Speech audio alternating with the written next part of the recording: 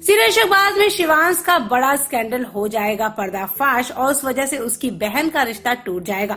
Serial Ishqbaaz में चल रहा है हाई वोल्टेज ड्रामा और आप लोगों ने देखा है कि शिवांश के भाई बहन राधिका और ध्रुव ओबराय मिशन में वापस आ गए हैं और वो बिल्कुल अपने पापा की तरह ही हैं, जो अपने भाई बहनों को बहुत प्यार करता है। शिवांश के लिए राधिका उसकी बेटी की तरह है और अब शो में राधिका का फॉरन से वापस आने के बाद उसकी एंगेजमेंट की अनाउंसमेंट कर दी जाएगी। लेकिन कहानी में आएगा एक बड़ा शौक जब राधिका का होने वाला पति उसे शादी करने को मना कर देगा, क्योंकि शिवांश का किडनैपिंग स्कैंडल का सच सबके सामने आ जाएगा।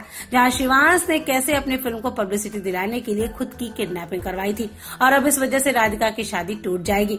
शिवांश ने अपनी फ़िल्म को हिट करने के लिए ये सब हथकंडे अपनाए थे, और उसे मालूम भी नहीं था कि उसका ये स्टंट उसके लिए इतने भारी पड़ने वाला है। शिवांश ये सुनकर शॉक्ट हो जाएगा, और राधिका पूरी तरह से टूट जाएगी, जब उसे पता चलेगा कि लड़के ने उसे शादी करने से मना कर दिया है। पूरा परिवार बड़े शौक में चला जाएगा और शिवांश अब अपने पीए से कहेगा कि वो न्यूज़ जल्दी से बंद करवा दे और वो जल्दी से जल्दी कुछ ऐसा करना चाहेगा जिससे उसकी बहन की शादी ना टूटे। क्या शिवांश अपनी बहन राधिका की एंगेजमेंट को टूटने से बचा पाएगा?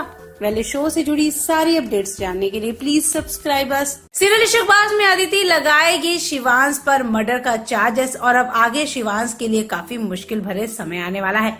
शो में शिवांश के भाई और बहन ध्रुव और राधिका की एंट्री हो गई है। और शिवांश उन दोनों के आने से बहुत खुश है। जहाँ वो अपने भाई बहन से बेनतहा प्यार करता है, वहीं उसकी और अदिति की बिल्कुल नहीं बनती। उन दोनों के बीच में आए दिन नए क्लैशेस होते रहते हैं। पर इन सब के बीच में शिवांश कहीं न कहीं अदिति के स्टाइल से काफ़ी इम्प्रेस है।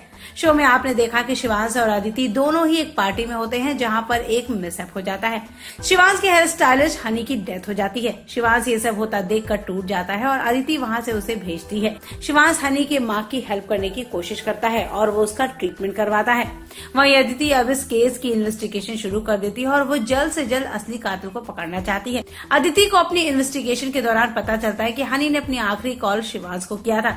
अदिति को शिवाज पर शक होता है कि सभी गलत चीज़ें उसके ऊपर झुक रही हैं और सारी चीज़ें कनेक्ट हो रही हैं। वो शक करेगी, शिवाज ने तो कहीं हनी को नहीं मारा है। अदिति को शिवांश पूरी तरह से मर्डर लग रहा है, लेकिन उसे उसकी केरी साइड बिल्कुल पता नहीं है। अदिति शिवांश को अपने शक के बेस पर अरेस्ट कर लेगी और उससे करेगी सवाल और उसे कहेगी कि इस बार वो झूठ नहीं बोल सकता, उसकी चोरी पकड़ी जाएगी। क्या अदिति शिवांश का रियल साइड जान पाएगी? वेल शो से जुड़ी सारी अपडेट्स जानने के लिए प्लीज़ सब्सक्राइब अस